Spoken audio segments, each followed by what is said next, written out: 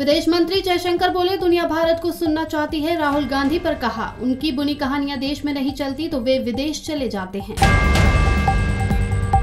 मणिपुर में सेना ने चलाया सर्च ऑपरेशन।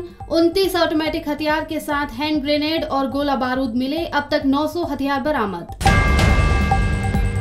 नाबालिग पहलवान के बयान बदलने से रेसलर्स को झटका। पॉक्सो एक्ट हटा तो ब्रिजभूषण की तुरंत गिरफ्तारी नहीं। 15 जून तक करना होगा इंतज़ार।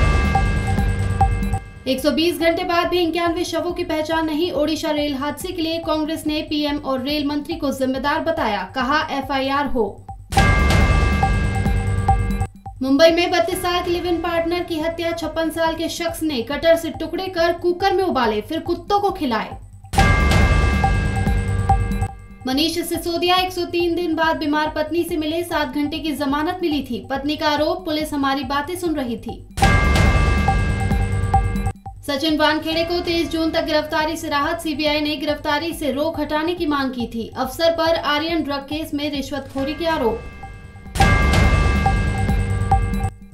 आदि पुरुष डायरेक्टर ने तिरुपति मंदिर में एक्ट्रेस को किस किया? पुजारी बोले, ऐसा तो पति पत्नी भी नहीं करते।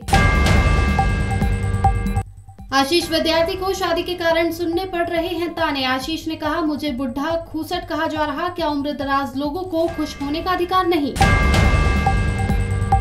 केरल पहुँचा मानसून, एक हफ़्ता लेट हुआ, अरब सागर में उठा बिपरजॉय तूफ़ान, पाकिस्तान की ओर बढ़ा।